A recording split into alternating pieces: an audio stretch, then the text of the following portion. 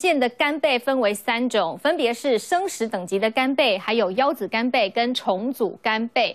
那这当然了，价钱也会不一样，价差可以高达十五倍。其中最高等级的就是生食干贝，它一颗最贵可以卖到一百五十块。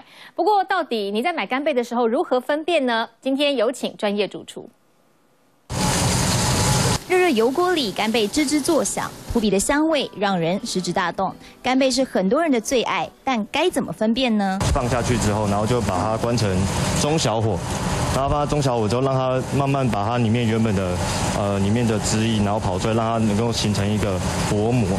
市面上光是干贝就有三种，虽然名字很像，但不管是味道或是价钱都差很多。生食干贝口感软嫩鲜甜，咬起来会有一丝一丝的感觉；腰子干贝酥脆，但咬起来会有塑胶感；重组干贝则是没有甜味，添加了其他食材。三种干贝好坏价差高达十五倍。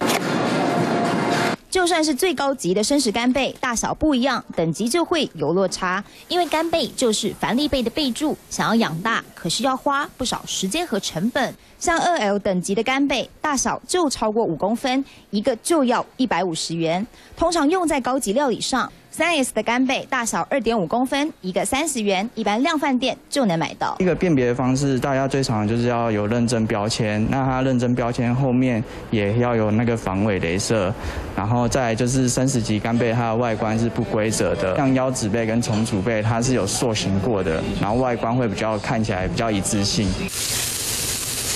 想要知道买的干贝品质如何，用煎的最能看穿玄机。只要出现很多水，可能就是泡了过多药水的关系。民众要买干贝，可要仔细看好，才不会用高价买到劣质干贝。三立新闻孟国华、林芷琪台北报道。